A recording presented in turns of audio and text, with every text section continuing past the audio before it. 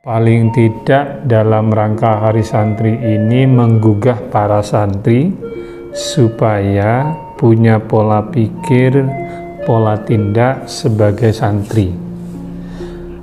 Ciri khas santri itu mandiri. Saya juga pernah di pondok, pondok pesantren ya ya masak ya masak sendiri. Jadi tingkat ketergantungan ke orang lain itu sangat-sangat sedikit kalau santri itu.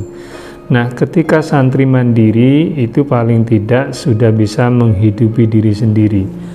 Kalau kehidupan saat ini saya melihat di luar, di lapangan, kebanyakan yang bisa bertahan itu para alumni santri. Nah, alumni santri ini nggak ngejar, nggak ngejar entah itu di pemerintahan, entah itu di swasta dan sebagainya yang dia kejar kalau nggak ada di pemerintah ya sudah dia bisa mandiri. Nah kalau alumni-alumni yang non santri biasanya fokusnya kejar ini, kejar kerja di pemerintahan, kejar di sini dan sebagainya. Tapi kalau santri bagi saya kebanyakan karena sudah ditempa mentalnya untuk mandiri, itu bisa survive dalam menghadapi dinamika kehidupan itu.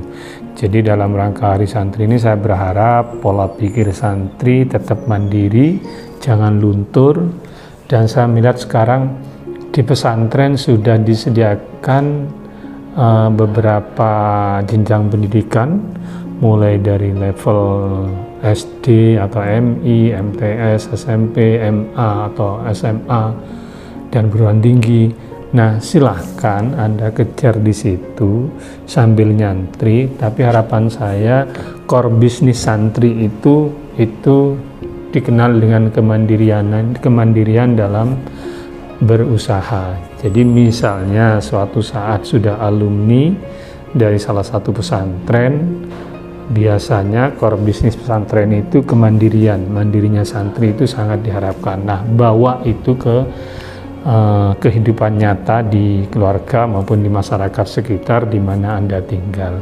Sebab kalau alumni pesantren mengandalkan katakanlah ingin kerja ini, ingin kerja itu, yang sebagaimana alumni-alumni sekolah umum, itu bagi saya nilai uh, santrinya kurang.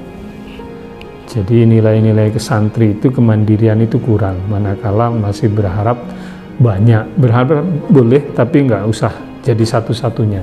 Santri itu dididik memang untuk mandiri.